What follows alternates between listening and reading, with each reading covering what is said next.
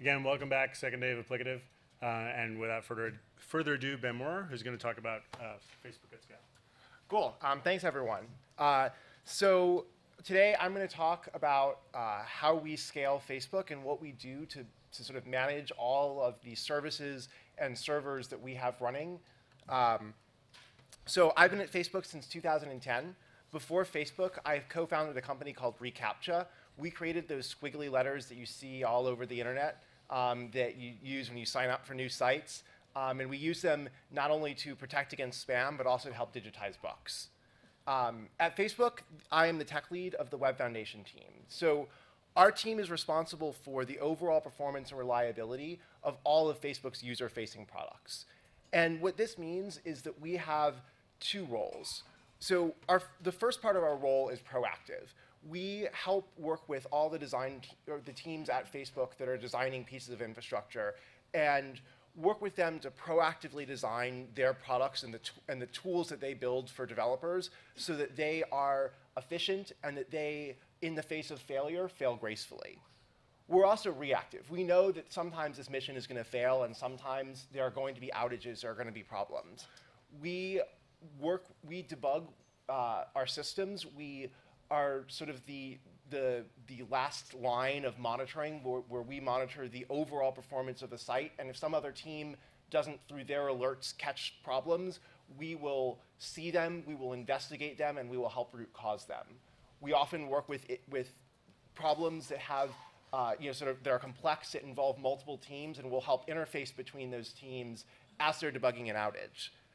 And so I think that this, and so this mission, the second mission, the reactive mission, actually plays a lot into the proactive mission, where we will, we will go through one of these incidents, we will learn a bunch of stuff that, hey, this system failed this way, that system failed that way, and we will put that back into the proactive mission, where we're going to those teams and we're saying, let's talk about how, you know, this incident occurred, and here are all the things that we learned from it. Um, and so today, I kind of want to give you guys a taste of both parts of Web Foundation's mission. And so I'm going to talk a little bit about the things that we do to proactively design our site to scale well, and the, and the way that we reactively handle an incident, and how we go about doing that, and how we go about learning from it. So to sort of frame this talk, I think it's useful to give a quick 30-second tech talk of how Facebook works. Um, so I'm mostly focusing on the, the user-facing parts of Facebook. And all of that, it, it's you know, the desktop site, it's also our mobile applications. Both of those are over HTTP, so this is our sort of our stack of what happens when you make a request to facebook.com. First, when you request something from Facebook, it goes to a set of load balancers that is distributed across POPs across the world. Those load balancers figure out the, the right data center to send your request to, and they forward it to what we call our web tier. Um, this is our, uh, our business logic tier that is running PHP code using our uh, HHVM runtime for PHP that we've created in-house. Uh, and so this web tier is sort of where the, the real brains of Facebook are, figuring out, okay, you know, this user is logged in, what does their website look like, How, what do they, uh, you know, what do they see when they go to the site? The web tier sort of uh, switches between talking to two different sets of services. The first service it talks to is a cache service. That is a service that has information about objects in the social graph, about users, about things that they posted, about comments on those posts, about likes on those posts. It is a graph of objects that is connected together with associ associations. This cache is backed by an underlying MySQL storage system. But this graph does not necessarily contain everything that's on your Facebook page. Your newsfeed isn't a graph. It, there's, we have to figure out what all of your friends posted. For these kinds of questions, we have services. Now, there's only, there's only really one cache, but there's a lot of different services that range from everything from newsfeed to timeline to messaging to ads to ranking to spam detection. These services are built by different teams that operate the services on their own and the, the web tier uses uh, Thrift, our RPC framework, to call into these services. Facebook is an environment where there's a lot of rapid change. We release the, the business logic, our web tier, twice every day. And sometimes features are developed at, at, a pace for someone who's responsible for making that website work that can make you a little bit seasick. Um, one really good example is the look back feature video we launched last year. This was to celebrate the 10th anniversary of Facebook, and we offered you the ability to create a video montage of all the stories that you've ever posted. Um, this feature used 450 gigabits of egress. We rendered 720 million videos at a peak of 9 million per hour and used 11 petabytes of storage. From the time that some product manager said, it'd be really cool if we did this, to the time that we launched the feature was 25 days. With this kind of timeline, there's not a lot of time to design the scalability and to, you know, to, to work with any individual service team as they're launching a product. And so what this means is that as we're building our systems, we really need to have a code base where anyone can come to the company and build a service and build it scalably and build it efficiently. And what that means is we need to make sure we're solving scaling problems only once. The way we do that is Facebook projects are all built in a single source control system. So there's one Git repo that has all of Facebook's code in it. And what this means is it's really easy if you have a useful piece of code for you to expose it to other teams. So we have a bunch of libraries that started off as one directory in one folder that one team said, hey, I really need you know, an RPC service. And that very, can very quickly evolve into a company-wide RPC framework. And so we have um, some really cool libraries. We have Folly, which is our base C++ library that contains a lot of useful utilities. We have Thrift, our RPC framework, which helps coordinate the, both the client and the server um, RPC calls. Um, Proxygen, our HTTP server, which is used to power that load balancer that I talked about earlier. And RocksDB, which is a persistent key value storage system. All of these projects have started off as something that one person used and was, was helpful in one project and have changed into something that is not only used across the company, but now all of these libraries are open source. Um, in the presentation that I'll put up on the, on the site, um, these will have links to the, the GitHub repository for each one of these projects. So one of the libraries that I've found has been really useful and is uh, applicable across a wide range of, uh, of, of applications is synchronization libraries. Facebook has a lot of large multi-threaded programs, and having the right abstractions for people to use that predictably scale well is extremely important for delivering high performance. Um, one abstraction I want to talk about today is producer consumer queues. These are commonly used, for example, in our Thrift RPC framework. If you have a, a Thrift request that comes into a server, that's usually handled by a thread that's using an event-based system, something like libevent and we'll hand off that piece of work to a consumer thread, which will execute the work for that request, which might involve database calls or might involve something that you wouldn't want to run on your event thread. Now, the most obvious way to implement a producer consumer, queue in, in, uh, in Linux is to use the pthread cond in, in the pthreads library. Um, but if you look at how this performs, at, with 50 worker threads, everything is fine. But as you get up to a lot of worker threads, you get up to 200 worker threads, the performance of pthread cond gets really, really bad. What's also really interesting is that for each piece of work you put into the worker queue, you find that you're doing three context switches just to send that piece of work to another thread. Now that's really weird. Why would you do three context switches if you just wanted to send one piece of work over to one thread?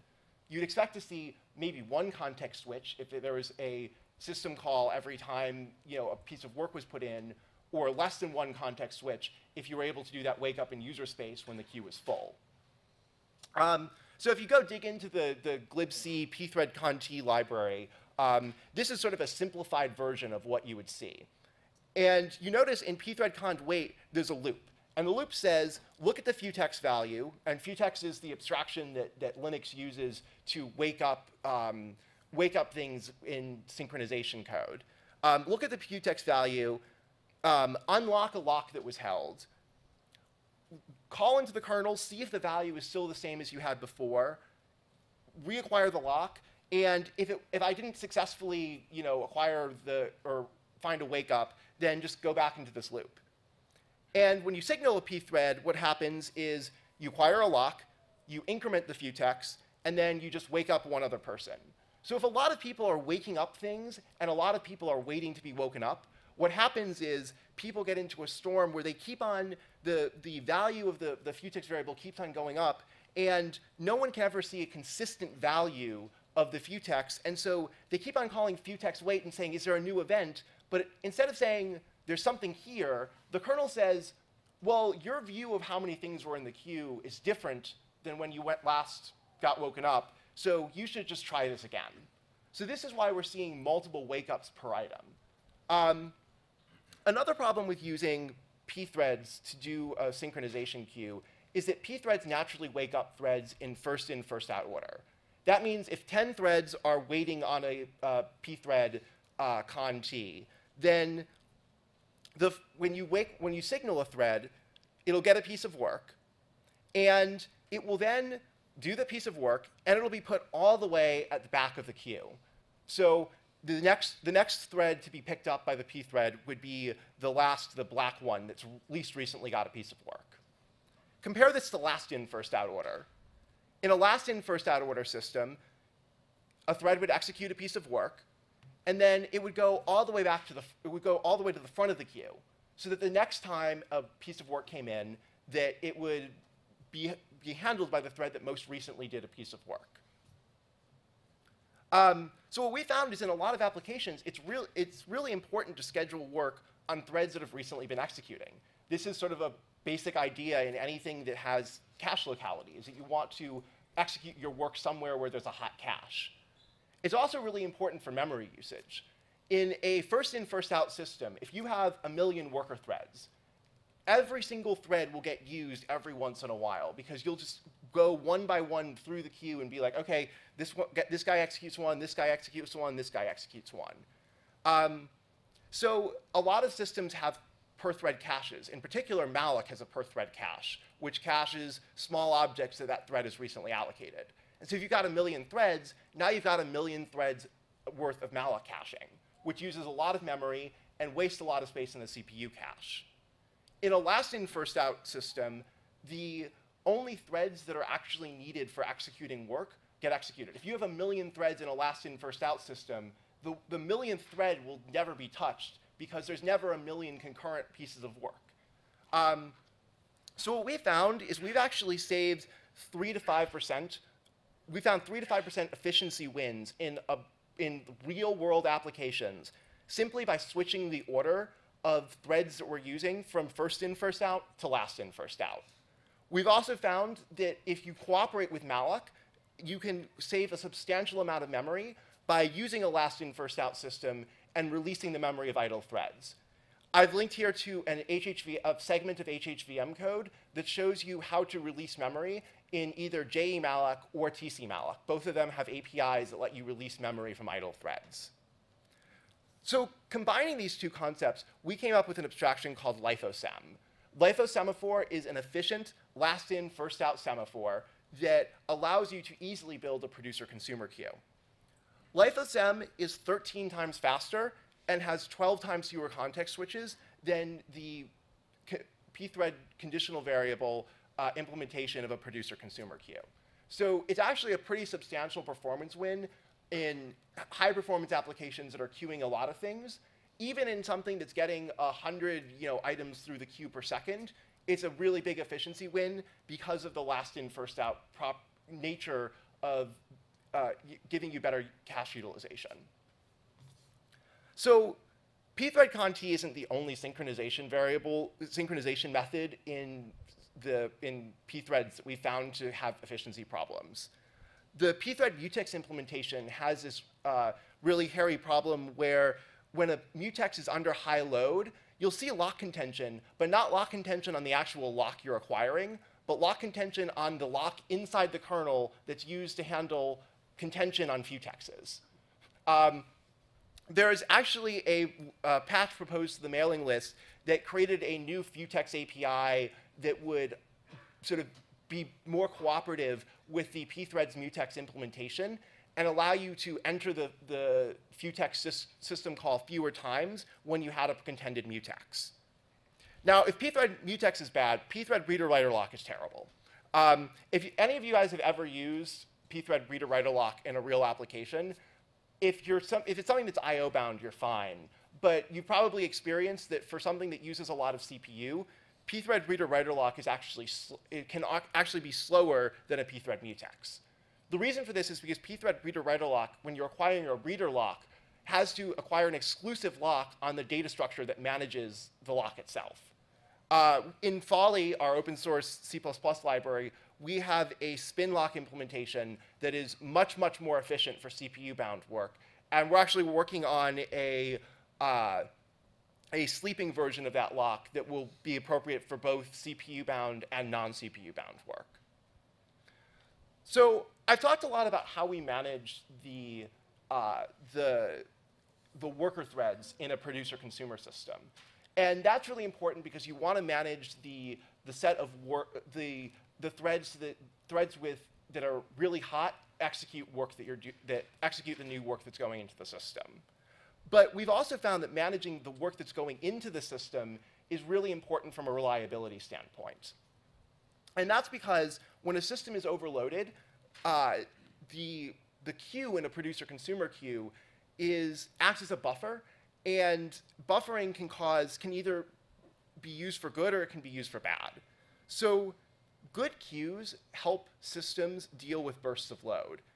In a good queuing system, requests are coming in uh, slower than they are being processed. So the system is able to keep up with load as it's coming in, but there's a temporary burst. A good queue increases reliability. Imagine you had a Java server, and the server had a garbage collection during that garbage collection, you might not be able to keep up with the rate of incoming requests. But overall, after that garbage collection executes, you can catch up and you can start executing the work that, that came in while you, were, um, while you were busy doing the garbage collection. And so in that system, having a queue makes the system more reliable because you don't drop those requests that happened you know, while there was a temporary stall. In a bad queue, the, the server is simply overloaded. Requests are coming in faster than you can process them. A bad queue doesn't increase the throughput of your system. If you just can't keep up with the rate of requests, no amount of queuing will make your service faster. But what it will do is it will cause latency for every request that comes into your system. So I think there's a few things that are important to think about when you're designing a system that has a queue. Uh, if you have a system that has a queue, when you fail, it's better to fail quickly when you have a system that is, you know, on that is being used by a, uh, you know, by an overall larger request, if your if your system is slow to process that, you know, that one sub part of the request, you slow down the overall response. But often, if you just said, "Look, I'm just not going to be able to handle this," then it would be fine, like that small segment of the page, maybe on a Facebook page, the people you may know section where we show people you might want a friend doesn't show up. But that's fine as long as the page itself returns in a reasonable amount of time. So it's really important that if you're going to fail, you fail quickly, but also that when you fail, you actually signal that failure to your clients. Another interesting thing about queuing in server systems is that ordering doesn't really matter. So if you went to the grocery store and someone from the grocery store pulled you aside when you were in the checkout line and said, Sir, I'd like you to actually come up to the front of this line and I'm going to check you out right now. People might get mad at you. And in, a, in the real world, we expect queuing to be first in, first out. We expect to wait in line and wait our turn. In a server, no one knows if we let one user cut the line or not. And so we can do whatever we want to. We don't have to serve people fairly. And the insight here is that we should probably try to give the best service to users that we think are actually going to see our response. If a user has been waiting around for 30 seconds to get their response, likely they've already stopped using our app and they're, they're using Tinder or they're using, they're using something else. They're, they're, they have been distracted. They're not actually there to see that response. So if we see a person in the queue that's been sitting around for 30 seconds, we shouldn't prioritize them, even if they're the, they're, it's their turn. We should prioritize a user that is more likely to actually see the, the, the benefits of the work that we're doing. So another, real, another really important philosophy is that clients should defend, defend themselves. Now, we want servers to signal to their clients, hey, I'm overloaded, I can't handle your question right now. But clients should also be prepared for servers whose load shedding mechanisms aren't working or where the servers themselves are so broken that the load shedding mechanisms can't even execute. Clients should help, should assume that servers will, will help, but not rely on it. The last and I think most important philosophy is that the more complex your system, your knobs are for handling load shedding, the, the less likely they are to work in the real world. Um, most people op- tune their system for normal workloads, not for, uh, not for outages and incidents. And so what we found is that it's really important to come up with algorithms and with systems that have very few knobs and they can be easily tuned and give strict guarantees. So one of these algorithms um, is a control delay algorithm. And this is inspired by the control delay paper um, that was published around reducing buffer bloat. So the key insight of, of both the paper and the, the controlled delay algorithm that we use is that if your processing speed is greater than the rate at which new requests are coming in, that means that there's frequent, there, your queue of work is frequently empty you can think about this logically. Imagine that my boss is giving me work, and he's giving me work at a rate that uh, I'm able, I'm, I'm doing work faster than he can give it to me. Logically, that means sometimes I'll have nothing to do and I'll be browsing Reddit, Reddit right? Um, on the other hand, if I'm doing work, if the boss is giving me work faster than I can do it, what that implies is that at some point, I'm just going to have a pile of work on my desk and it's never going to become empty because he's just giving me work too fast for me to process it. And this is the key insight that controlled delay uses. The theory behind controlled delay is that we check, every once in a while, we check if the queue has been fully drained, if it's empty, within any time within the last n seconds. If it hasn't been, if for the last n seconds you haven't been, your queue hasn't been empty, we simply say, anything in the queue from now on that has been there for more than 10 to 30 milliseconds, we're going to time out. So back to the work analogy, this is me saying to my boss, look, for the last week, I've had a pile of, of work on my desk, and I haven't been able to do any of it. So what I'm going to do is I'm going to knock off everything except for one or two things, and the next time you give me a piece of work, if my list of work to do isn't mostly empty, I'm just going to ignore you. Um, so what this does is this is really great because it means that you can't have a sustained situation where you have buffer bloat, where there's just a queue that's sitting around that you're just not draining. Um, another, so we complement this with something we call adaptive LIFO. Now, I talked about LIFO in the context of ordering which worker thread gets a, a piece of work. This is LIFO in the context of which piece of work do we execute. Now, in first in, first out order, as I talked about, the user who gets, who gets served next is always the user that's been waiting around the longest. And as we said, if a user's been waiting around for 30 seconds, they probably don't even care about the, what your, the, the request that's being done. They probably already abandoned your application and moved on to something else. So the idea of adaptive LIFO is that we generally want to be in first, out, first in, first out order if the server's under normal load, we don't want to get into a situation where there's a request that's just been sitting around forever because there's always someone that comes in right before it. But if the server is starting to build a queue, then we want to switch into last in, first out order. At that point, we want to say, look, there's a queue of waiting requests, and so we're always going to give service to the guy that just came in. And what will happen is naturally, if the server is overloaded, there's going to be some requests that are at the, the, the uh, end of that queue that are never going to get serviced. Eventually, the control delay algorithm will kick in. It will notice that the queue hasn't been drained for a while. It will time out all those requests, and it will prevent the queue from getting long in the future.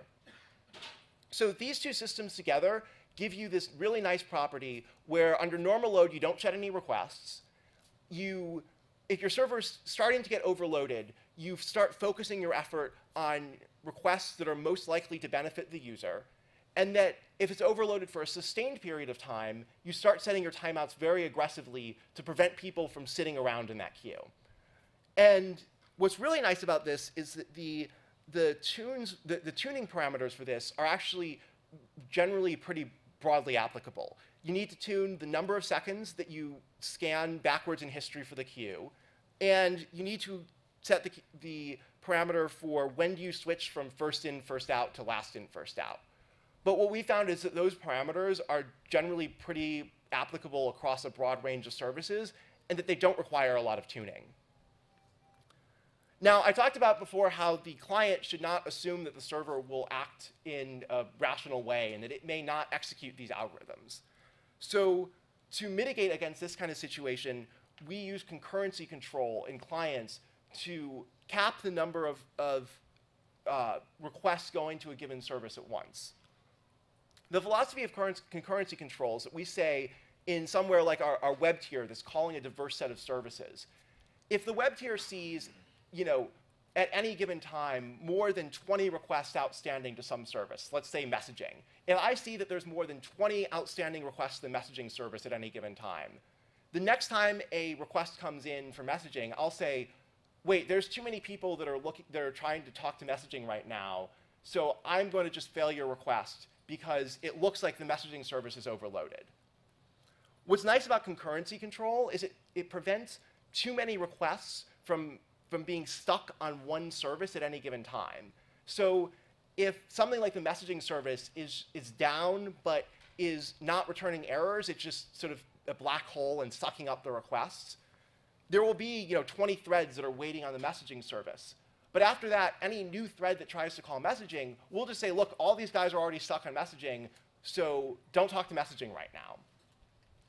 What this, this is really good at protecting a service like the web tier that talks to a heterogeneous set of services where the outage, where you want to prevent the outage of one service from bringing down the overall, uh, the overall service that you know, calls all of these other subservices.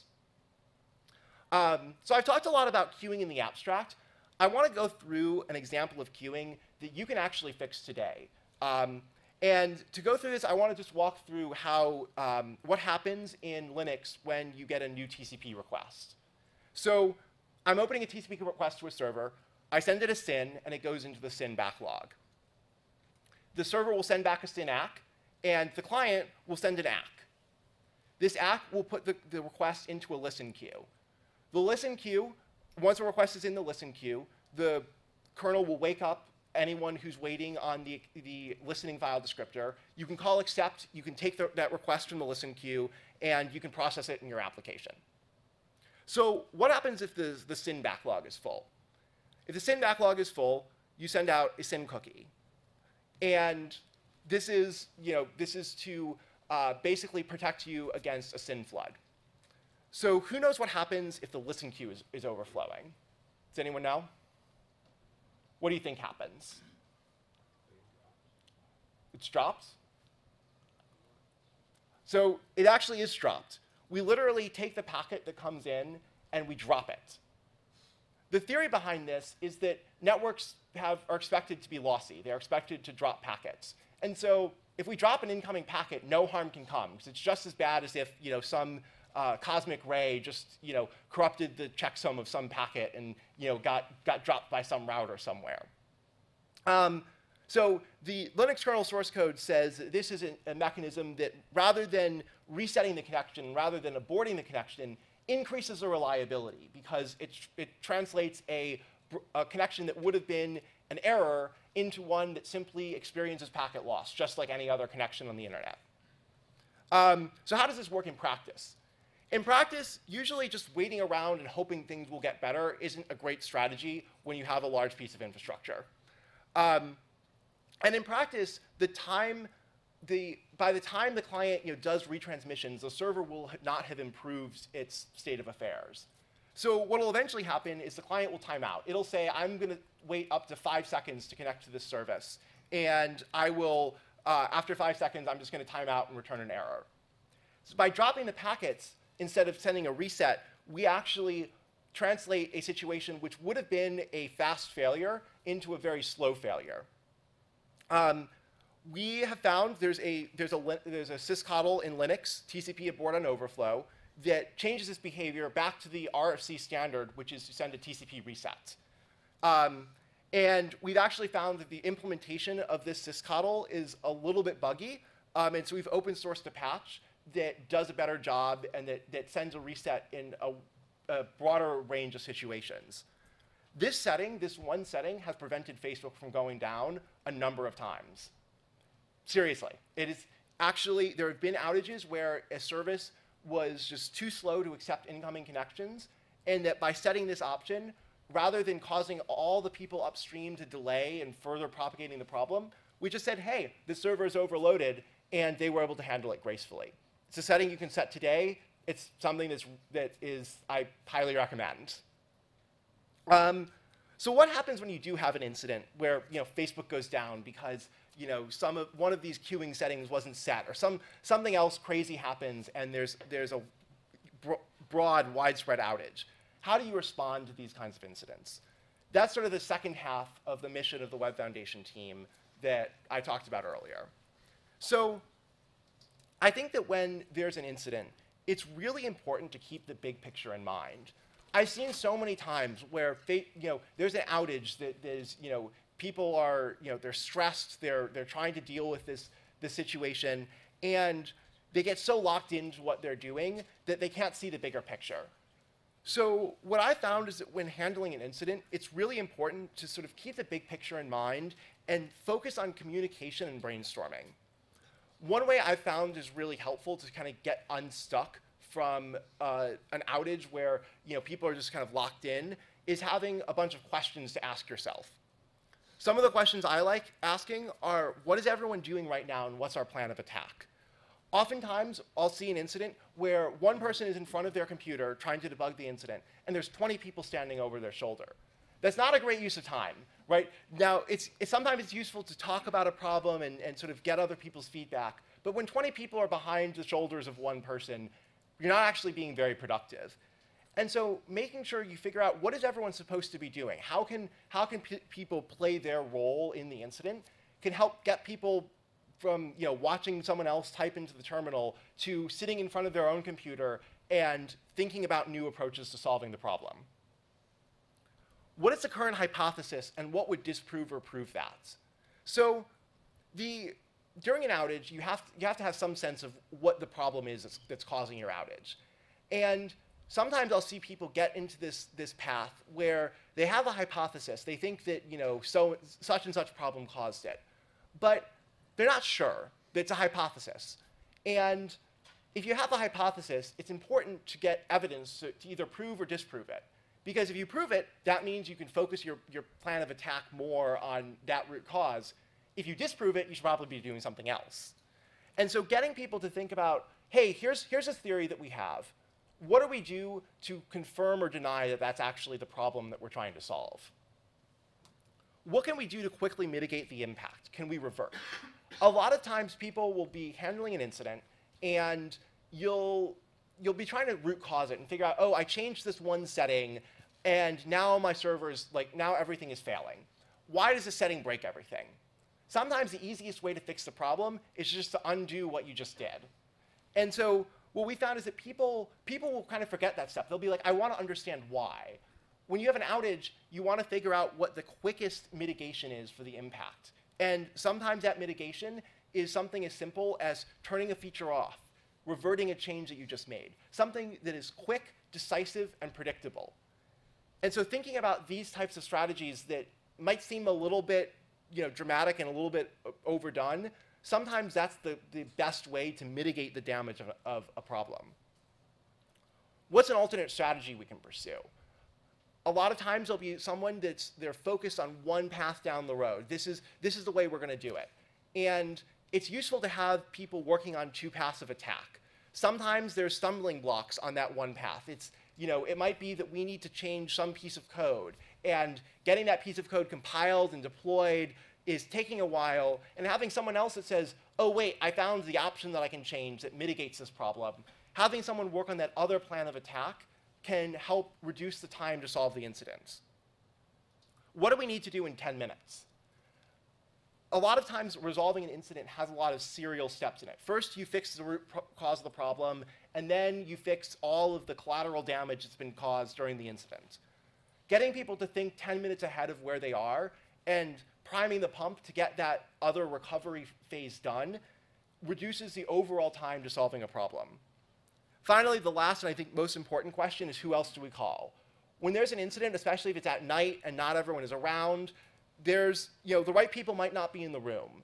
And so just when there's when there's an incident, being really quick to say, "Hey, we need to get someone else's input. Let's let's call them up. Let's get them online."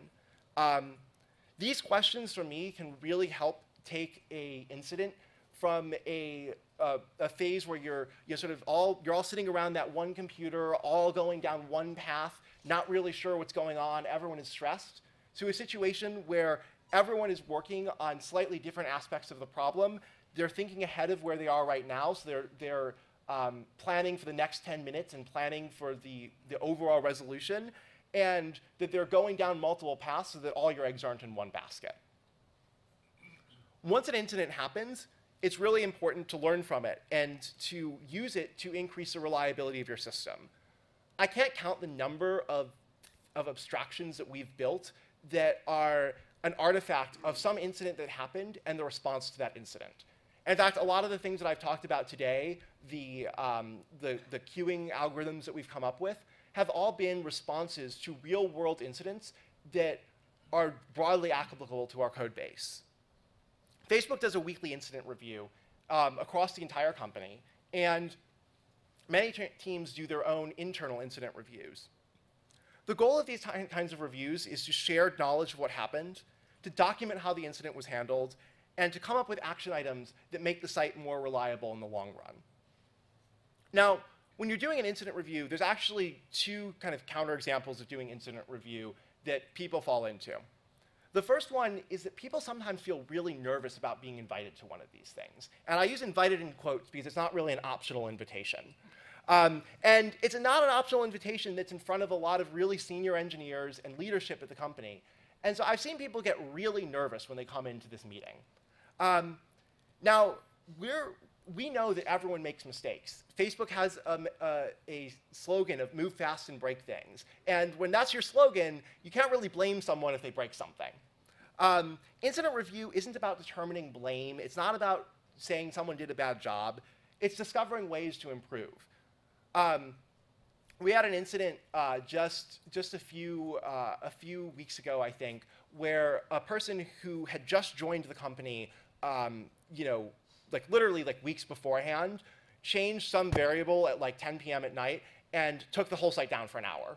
Um, now, uh, they were understandably a little bit concerned um, you just joined this company and you, you come in and you take down one of the world's largest websites. From our perspective, we said, why was this like new person able to take down all of Facebook? Why, like, how, how did we let that happen? We thought of it as our fault because really it is our fault. If, we, if our system is so fragile that someone new to the company, just by accident with no bad intent, takes down the entire site, that's our fault. And so I think that's a really important mentality to keep in mind when you're doing incident review, is that the person who caused the incident isn't to blame. It's the, the environment that allowed that incident to happen. And the goal of the incident review is to improve that environment. The second thing we see in incident review is people come in with, with uh, action items from the review that essentially boil down to, we're not going to do that again. Now, Facebook does not hire people to, for their insight that when they do something wrong, they shouldn't do it again. That's not, that's not why we hire people. Our hiring bar is a little bit higher than that. Um, and so it's really important to make sure as part of reviewing incidents that the action items from those incidents don't essentially mean I'm not going to do that again. You need to figure out ways that prevent broad types of outages or broad, broad types of danger that are present in your system and that prevent them. Um, and so a framework that, that one of my colleagues came up with that I, that I really love for sort of thinking about these broad action items is called DERP. Um, and DERP stands for Detection, Escalation, Remediation, and Prevention. This is a set of areas to focus on when you see an incident that can help you think about ways to resolve it in the long run. So the first question in DERP is how did you detect the incident? Was it automatic or did one of your users email you in to tell you that the incident was there? Um, if it wasn't automatic, what kinds of alarms and dashboards can you add that will let you uh, find the incident easily in the future? Escalation. Did the right people get involved? if you had an alarm, but it didn't go to the right person, that it went to a different team that had a different responsibility, and they had to escalate it to the other team, then how can you make it so that the alarm is better routed in the future? Remediation.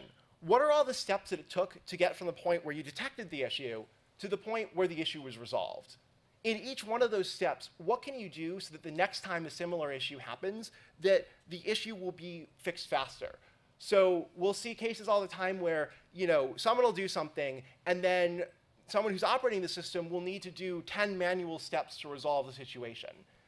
Oftentimes, the best thing to do is just to make sure that the next time that set of manual steps needs to happen, it's not a manual set of steps, it's automatic. Finally, prevention.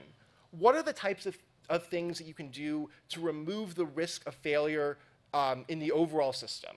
What can you do instead of, even if you are going to fail, can you fail gracefully? Can you fail fast in a way that maybe doesn't prevent the incident, but reduce, but mitigates the impact of it? So I think DERP has been a really useful framework for me in just thinking about when you know I see an incident, what are the kinds of questions to ask in reviewing that incident and you know, getting action items that don't essentially boil down to, well, I'm not going to do that again. And finally, I think it's really important to think bigger than yourself. It's, uh, it's really common to come into incident review and see, see teams come in with responses that maybe aren't, I won't do that again, but that are very specific to their team. So a really common version of this pitfall is someone will come in and they'll say, I have this rare but critical feature. And it failed, but we didn't notice it in the noise because, you know, my feature was when you, you know, do one random thing related to ads, and there's not a lot of advertisers, but they make a lot of our money. And so when something they do fails, it's really important, but it might not show up in our logs. Or it might not show up in the same way that, say, if I can't post on my news feed, that will show up much more easily in our logs. And so what we'll see, what we'll see happen is this team will come in and they'll say, you know, we should really be monitoring feature X better. We should, we should do a much better job at managing like this specific ads creation flow. And the problem with this is that's great. Like that you'll monitor that flow and if it fails again, you'll notice it. But overall, the next time something fails, it might not be that specific feature that fails. It might not be that team that experiences the failure. And so it's really important to think about the, the, the action items you come up with as being company-wide. So in this example, maybe a better action item was we should really figure out a way to determine small but important features in our product and automatically monitor the error rates for all of them. And so this is the kind of action item that a team might not bring itself to the incident review, and that's really important for someone who's experienced, who's on the team that's reviewing it. Um, often they need to kind of poke and prod and, and you know, push for that kind of action item. So to summarize, at Facebook, we, our, our team, the Web Foundation team, sort of has a dual mission. We have a mission of proactively designing abstractions that make our site more reliable and making, it, making the easiest way to build a service the, the most scalable way. And we have a reactive mission that when there is an incident, avoid, getting, avoid having people get stuck by um, you know, just micro locking into a specific part of the incident response and helping them keep the big picture in mind. And taking the lessons from those incidents that we have and using them in our proactive mission to better monitor incidents um, and to better and to learn lessons that proactively make the site better.